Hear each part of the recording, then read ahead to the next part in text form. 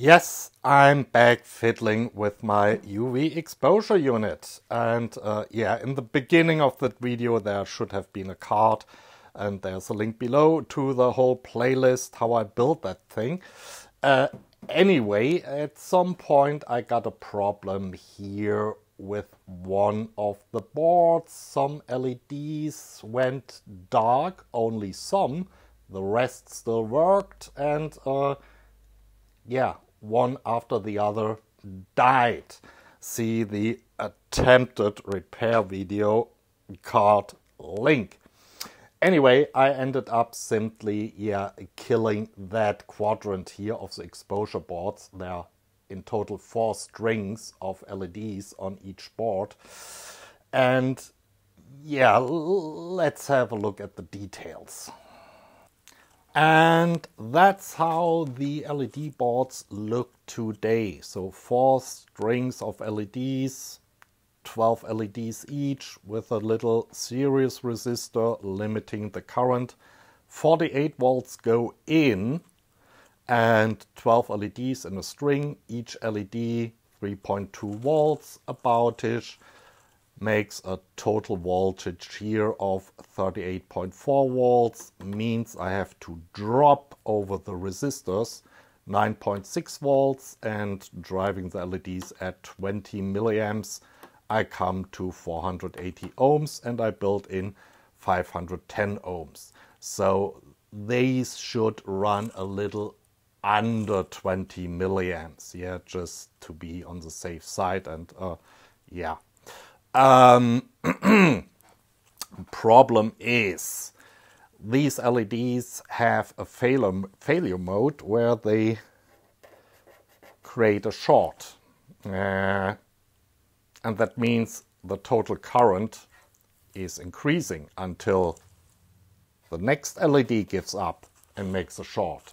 And the current is even more increasing because less, volt yeah, less voltage drop and so on. So my solution was simply to, uh, yeah, to cut off the defect line of LEDs here on the board, but that's of course not a solution. My initial idea was to use a linear LED driver and these are really nice chips that come uh, yeah, as SMD variants but also in a small TO 29 case with only, I think, two pins out or something.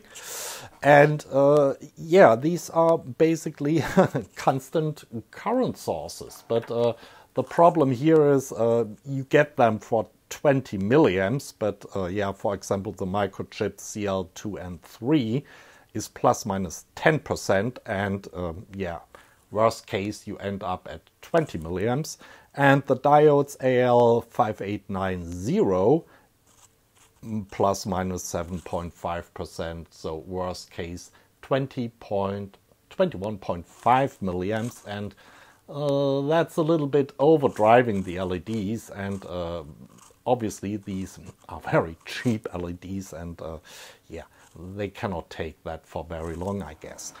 Uh, one note uh, that diodes chip here, it can operate up to 400 volts. Just if you want to drive some uh, LED lighting directly from mains AC, that's a nice two pin option, one chip, two pin option to do that. Next, I had a look at the classic LM317 constant current circuit.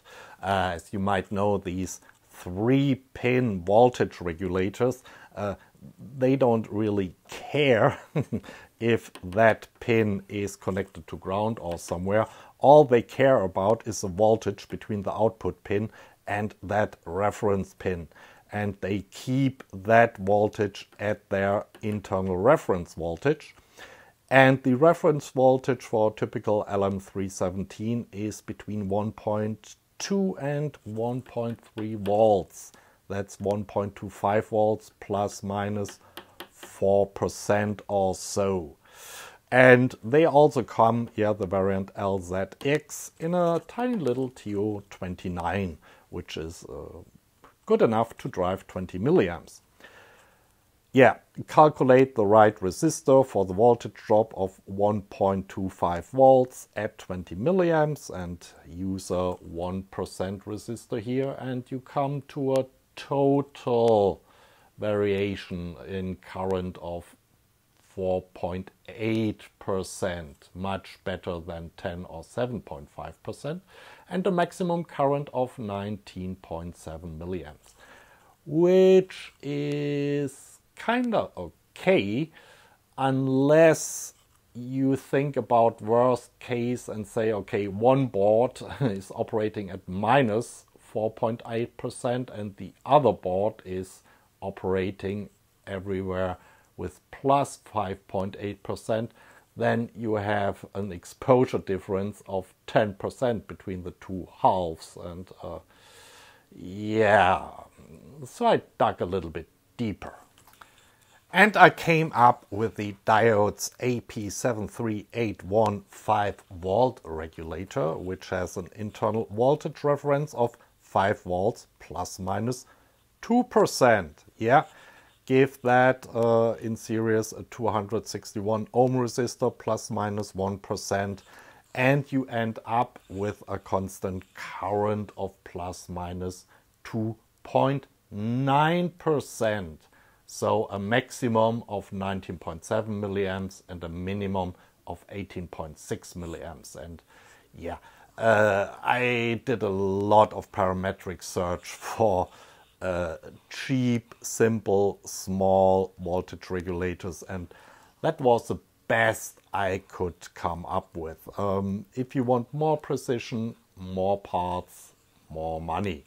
But yeah, that would, should suffice, I guess. So uh, let's build that up. I have, of course, the parts all here and test it. I've built everything up on that breadboard here and this is my current and this is my voltage across the whole circuit and I added one LED and you can see at 9.5 volts we are at 19.06 milliamps. And below that my current drops. Which is okay because, yeah, I will show you later. But when we get a little bit higher, yeah, we're at 19.1 milliamps. And yeah, can drive the voltage up and we stay at 19.1, yeah, 19.12, 19.13. That's okay. And 19.1, I don't want to burn that regulator here with too much voltage drop. And 19.1 is pretty much in the middle between 19.7 and 18.6 milliamps. Okay, so we are fine here. Now uh, let's take the voltage a little bit down further and take the LED out of the equation and just measure the voltage drop. Sorry, that's a little bit overexposed across here. So my regulator including the resistor because you remember I only have 6.9 volts to drop. Okay. So, when do we reach the 19.1 milliamps? Okay, so 19.06 looks good.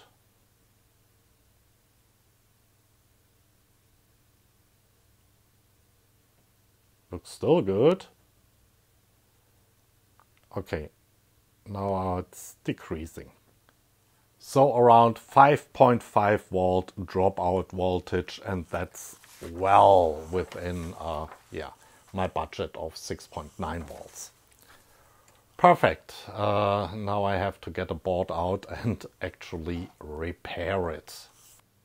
I replaced in one LED string the old series resistor by our voltage regulator resistor constant current combo and yeah that was the defect string so some LEDs might not light up. Let's see. Oh yeah. Oh yeah. So there's definitely a dead one. Let me mark that and this one here. Yeah, that's definitely also dead. And well, I don't know if you can see that on camera. I'm flooding this here a little bit. Uh, let me take the ex uh, auto exposure back. But no, that was not a good idea, was it? Uh, give me a sec. Okay, uh, what I wanted to say is this LED also doesn't look too good. you might think it's the angle, but if I move it a little bit, yeah, you see it's not as bright as the others. Okay, let's take that one out too. Just marking it black. So let me replace these three LEDs and then we'll see what's next. Okay, I changed the LEDs, let's see. Yeah. That's how it's supposed to look. And yeah, I'm... uh, how shall I put it? I'm tempted to simply close up everything now because yeah, it's it's working and I know how to fix the problem, but uh, last time I killed, I think, half a dozen LEDs here in that string, so uh, maybe I should, uh, yeah, go the whole mile and replace these resistors by constant current sources too. Let's see. And here it is. One, two, three, four, and Ah, wonderful. But wait. There is a second board which I have to do too. And believe me, it's an ugly job. Doing this modifications on a perf board, yeah, that's... Don't look at it too closely. It's horrible. Pure butchery. So I modified the second board too and now the great moment. And you know, it never, oh, yeah, in fact it does. So, uh, well, on the first try, no cold joints, no, yeah, uh, no problems. It just works. Well, I'm happy uh, yeah, uh, tedious work, you know, redoing these perf boards, but uh, now I can put everything together again.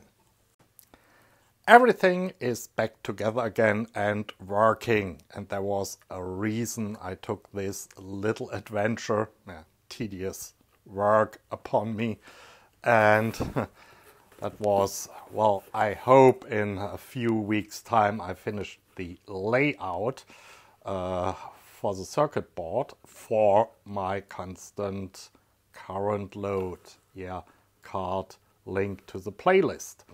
Uh, yeah, so yeah, I will finish this project uh, in uh, yeah a few weeks. I don't know, within a month.